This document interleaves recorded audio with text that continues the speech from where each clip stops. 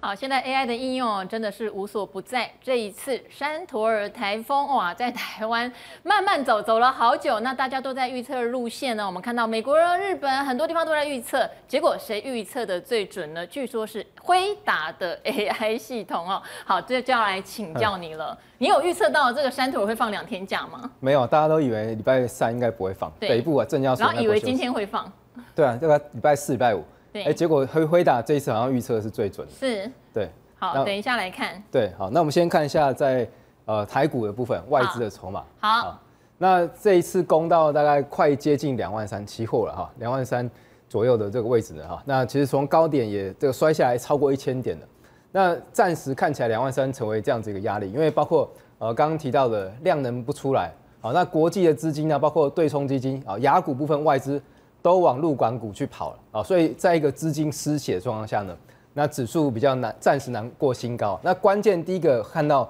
十月十七号台积电的法说，好，那可不可以给出一些比较正面的讯息啊？那会不会让呃外资呢再稍微回头青睐一下台股？那所以低档的话呢，两万一千九百点到两万二的这个位置呢，这个是蛮重要的位置。看起来呃从放假那天的晚上啊到今天都是有守住了，是好看起来有尽量在守。那这个地方最好是不要破，嗯，啊，所以如果破下去的话呢，我们等下看可能下一个支撑会在哪里。那另外就是在围台的这个部分啊，那这这个地方好死不死高点刚好又是空翻多啊，是，啊，空翻多。那还有这两天多单稍微有降一些些下来，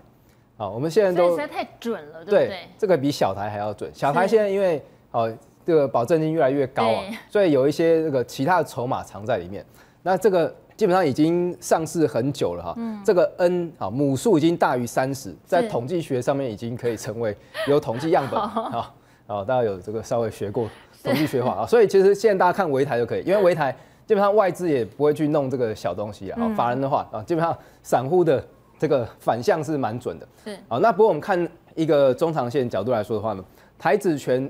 就是选择权的这个避险的波动率啊，最高是在八月股灾那个时候。好，那这一次是九月份大跌千点那个时候，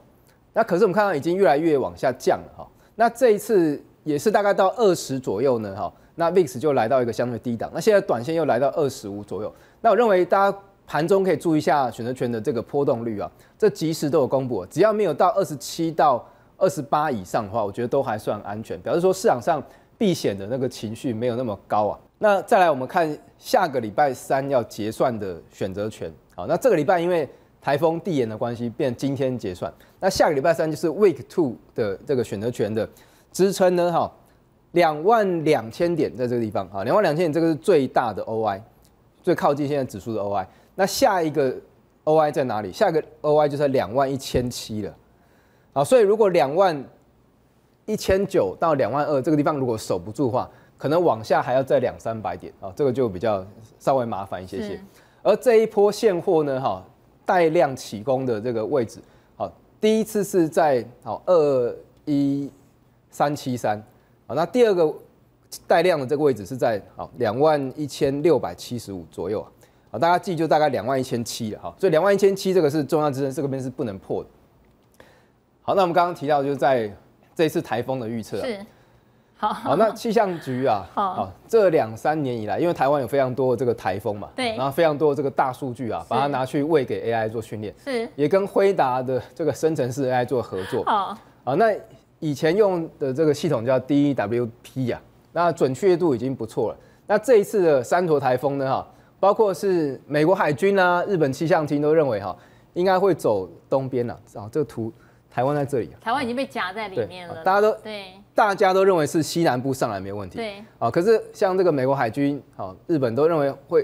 西南部这样擦边球从从东边过去。好，有人觉得从东边，有人觉得从西边，对不对？啊，可是只有辉达呢，哈，就黄色这一条，黄的，好埋在里面喽。有在黄色这个线，对，他认为就是呃，跟这次路径是一模一样。西南部上来之后，哎，大概就从西半部这样上来。好。它是很少见从高雄登陆的台风哦，对，对，好，然后登陆之后后来就解散，对，快到桃园的时候宣布解散，对哦，就每次碰到中央三妹有护国神山了哈，然 后所以其实这一次的话，解析度也从二十五公里降到两公里，里，哦，等于说已经非常能够好用卫星那种角度去运算。那其实它可以用图像的去做模拟啊，所以其实可以。让单次的推理速度高达一千倍，是，而且能耗少了三千倍，对，所以从今年七月份开始就已经在凯米台风有发挥作用。好，辉达、伏羲、盘古、谷歌、微软，哈，结果现在是辉达胜出，对他们说微软偏差比较大一点呢，嗯嗯，对对，所以未来几次这个放台风假，大家不要觉得气象局都不准了，是，气象局现在有这个 AI 越来越准的。好，哦，对，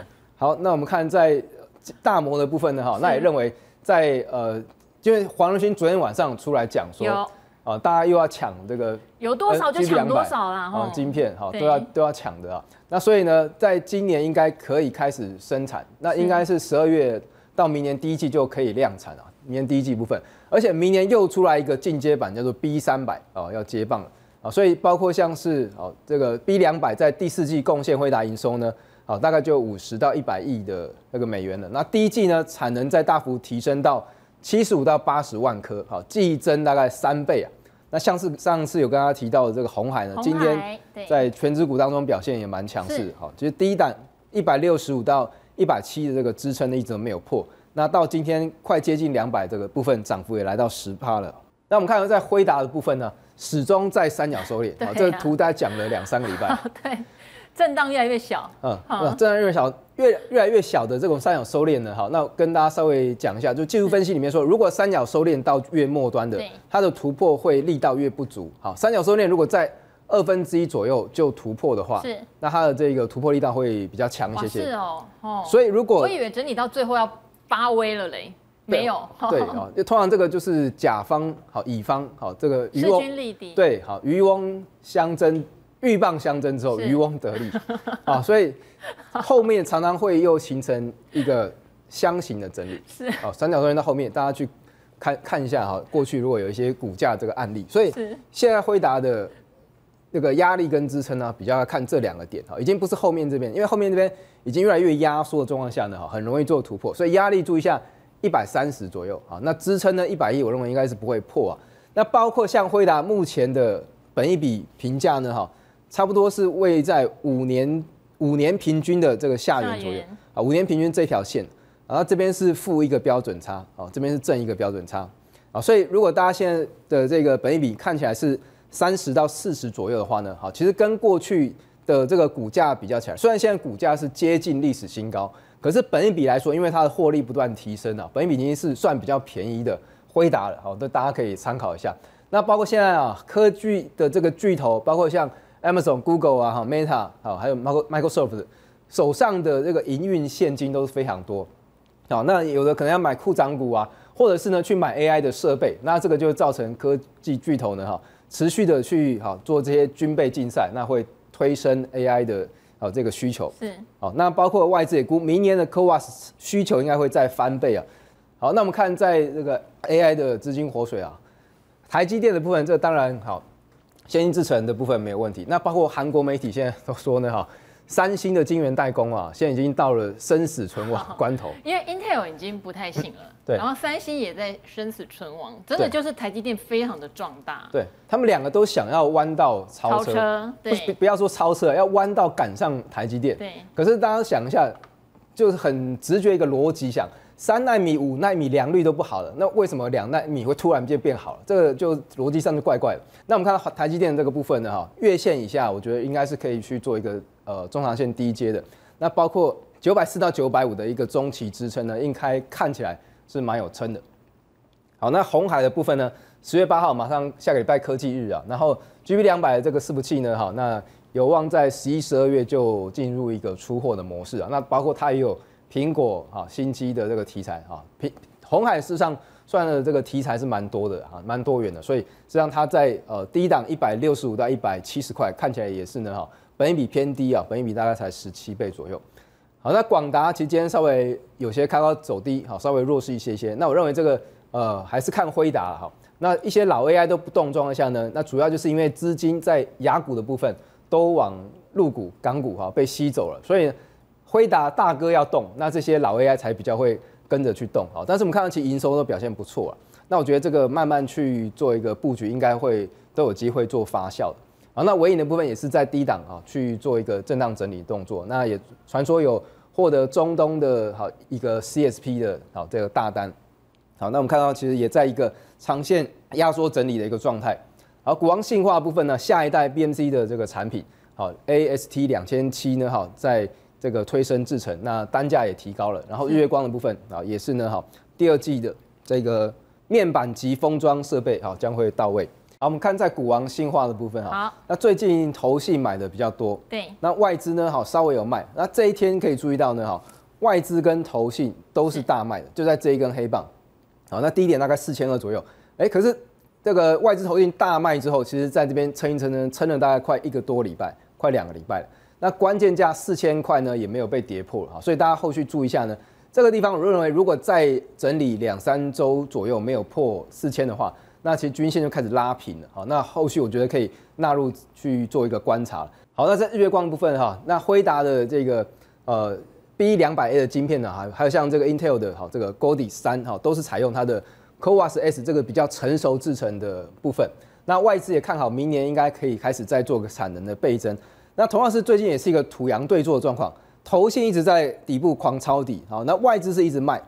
啊，但是我们看股价呢，股价是持平的，啊，股价没有被外资卖下去哦，那没有破低之前呢，哈，大概一百四，啊，我认为仍然是在进行一个。打底的形态啊，那它股价呢是上在一百四之下，哦，大概就只有这三四天的这时间，就八月份股灾那个时时间呢，所以日月光我觉得同样可以持续进入观察。那它打底时间呢，比信化再稍微久了一些些，已经大概两个月左右的时间，所以未来可以注意一下，季线准备翻扬状况下呢，哈，那它明年也受惠 c o a s 的产能倍增。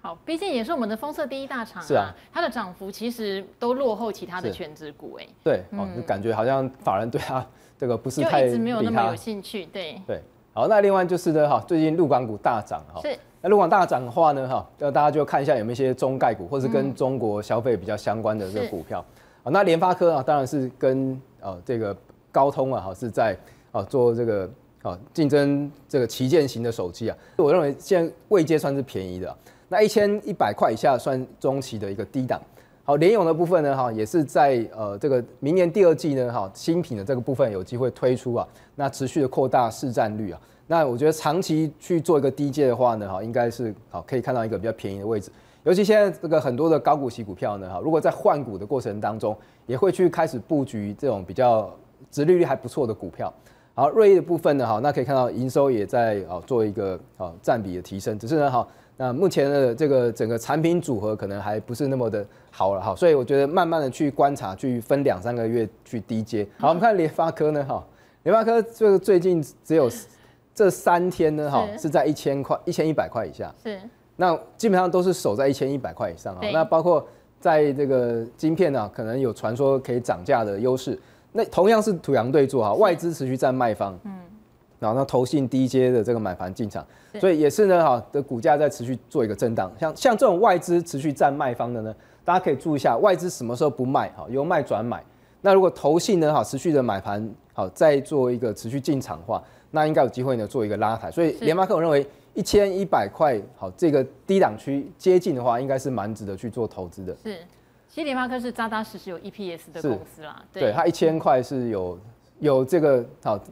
EPS 有它的这个道理的，是那伟全电部分呢？好，包括它的水冷产品第四季发酵了，然后在风扇马达控制 IC 大获一道强啊，然后 Switch 啦，好，PS 五啦，Xbox 游戏机都是第四季的这个旺季。那九月份营收呢？哈，月增五点五，年增一点九四，加上 Type C 渗透率不断提升，但是伟全店它的这个筹码会比较乱一些些，对，它大户还比散户来的少哈，是两百张大户只占三十趴。那十张以下散户大概占四十几趴，嗯那通常操作这种筹码大户比散户少的股票，建议最好等盘中拉回啊，或者是有这种比较明显一个波段止稳的状况再去接。那我们看到主力券商也是在短打做个操作啊，所以注意一下这个跳高缺口有没有守住啊。但是长期来说仍然是有不不错的这些题材。好，你跟钟总刚好互补，对不对？哈，中概钟总讲的是比较传产，但是你有看到所谓的 IC 设计，而且跟消费电子有关的，事实上也可能会受惠于中国内需的复苏嘛？对，后续看这个印钞的力度啊，以及整个热钱进入到中国的状况，那会不会带动在周边的一些电子股？好，这边非常谢谢骨科大夫医生。